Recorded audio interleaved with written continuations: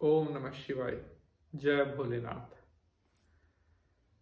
गोस्वामी तुलसीदास जी ने श्री रामचरितमानस में एक बहुत ही सुंदर पंक्ति कही है कि एक घड़ी, आधी घड़ी, आधी से पुनियाद, तुलसी संगत साधु की काटे कोटि अपराध।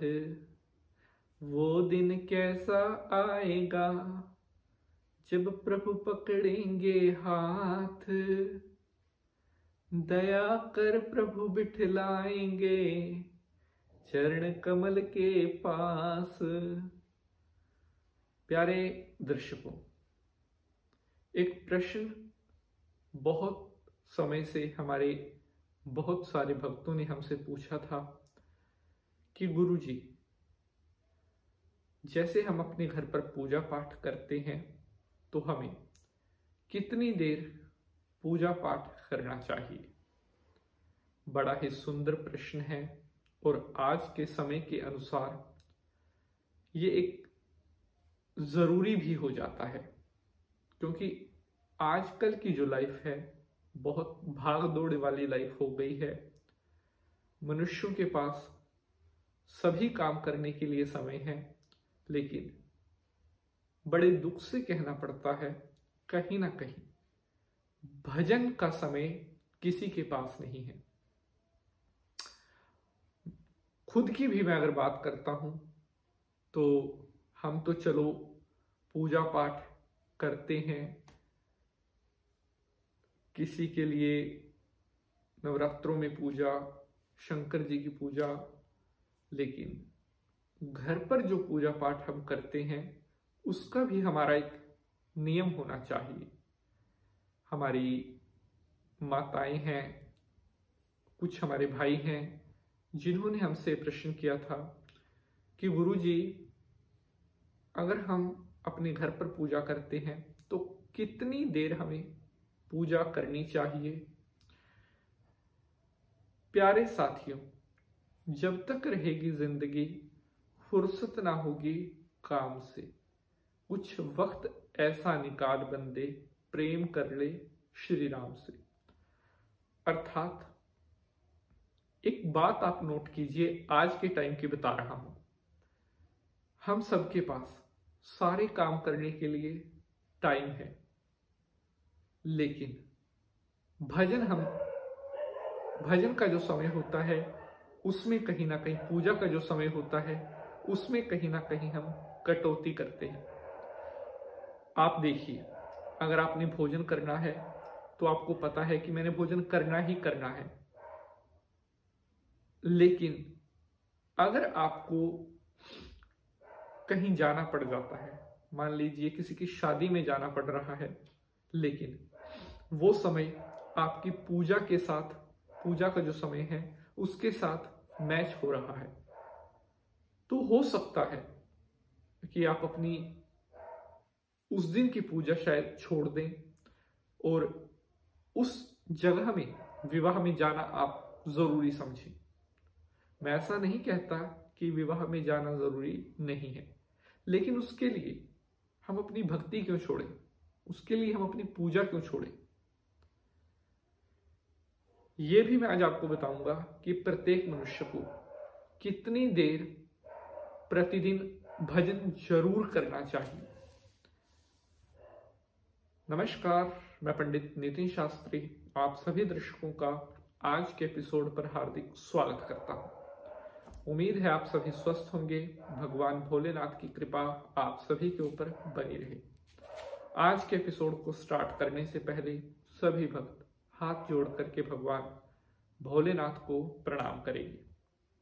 ओम त्रियंबकम यजामहे, सुगंधिम पुष्टिवर्धनम उर्वारुकमिव बंधना मृत्युर्मुक्षी यमामृता बोलिए शंकर भगवान की जय।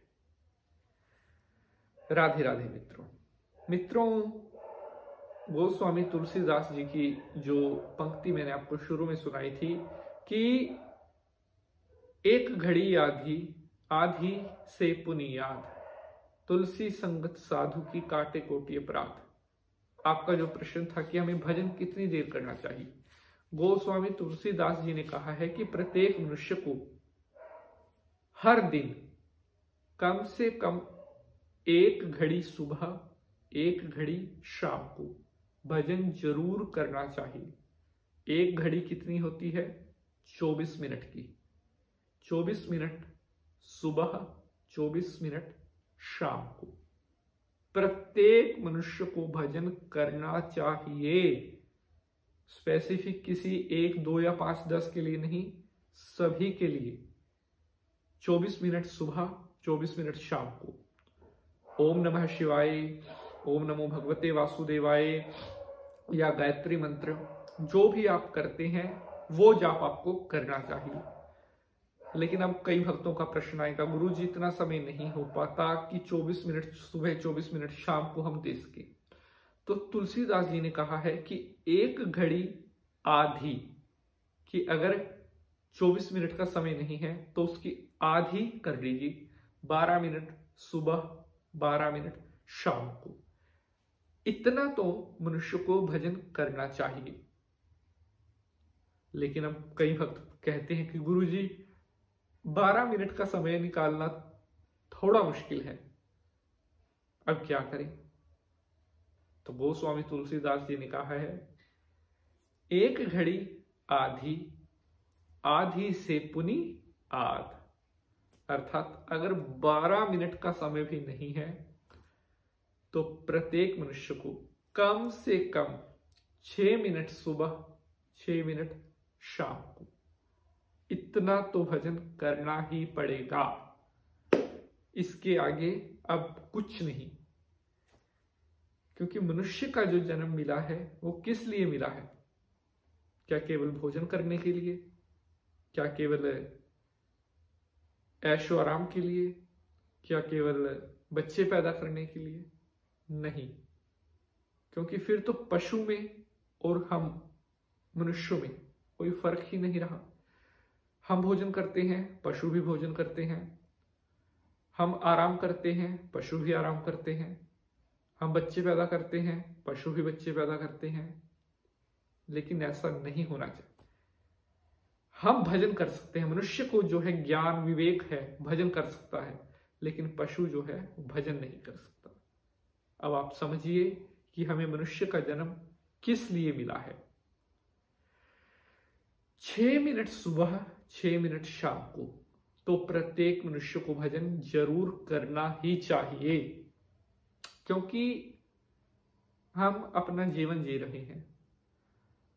कई बार हमसे जाने, अनजाने कुछ पाप हो जाते हैं, जिनका प्रायश्चित नहीं हो पाता।